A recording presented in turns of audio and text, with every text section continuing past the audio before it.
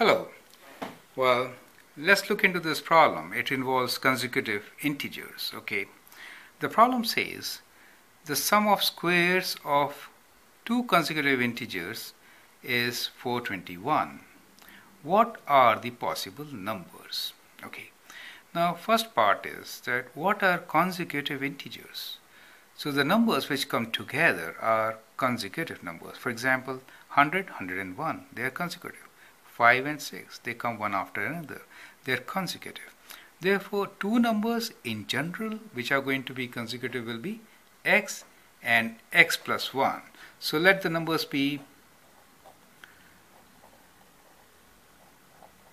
let the consecutive numbers be x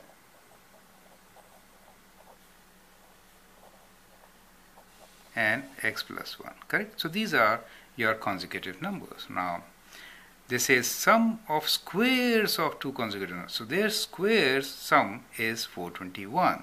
So the equation here is x square plus x plus 1 square is equals to 421. Is it okay?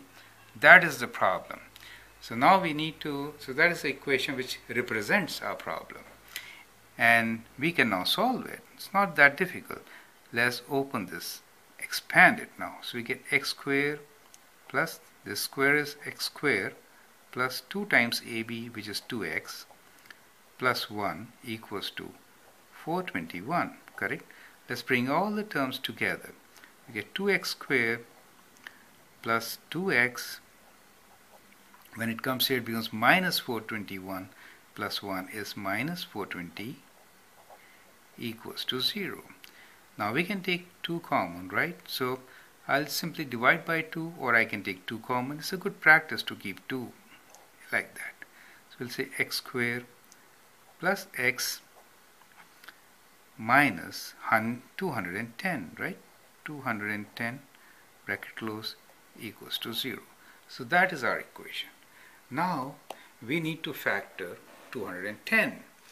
Divide this factor this equation and to factor what we should do is we need product of two numbers as 210 minus correct? And sum that is p plus q as 1 so we are looking for two numbers whose product is minus 210 and sum is 1 okay? So bigger number is positive right? Now how to get such big numbers factors? So I'll also teach you a strategy to find out such numbers. We know 210 is a huge number. So let's try to factor it out like prime factorization, remember?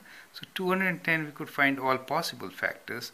So possible factors could be let's say 10 times 21, correct? 10 times 21. Now for 10 factors could be 2 and 5, is that okay?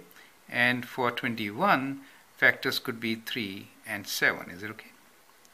Now these are your factors, right, for 210. So if you see, we can combine some terms. If I do 5 times 3, it is 15, right? And if I combine 2 and 7, then what do I get?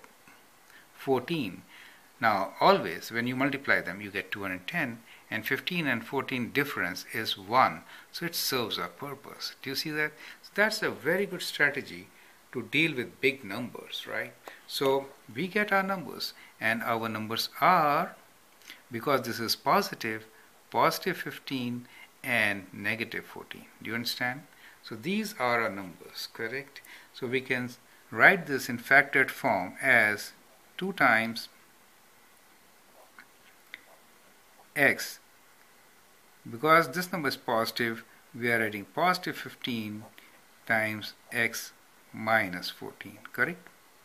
Equals to 0 and this equation is 0 only if x is equal to minus 15 or x is equals to 14 so the two consecutive numbers which we are looking for are either starting with minus 15 or starting with 14 so the two sets could be here as minus 15 and plus 1 is minus 15 plus 1 minus 14 correct?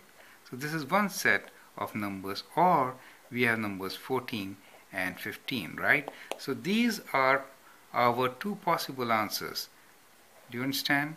Either minus 15 and minus 14 or 14 and 15 so these are the two possible answers for our situation okay? So we say that the sum of squares of two consecutive numbers which could be minus 15 minus 14 because when you square them they become positive right? And so when you add them you get 421 or 14 and 15 correct? I hope you also appreciate the way we factored and found product and sum and you know that helped us to factor our uh, quadratic equation okay? Thank you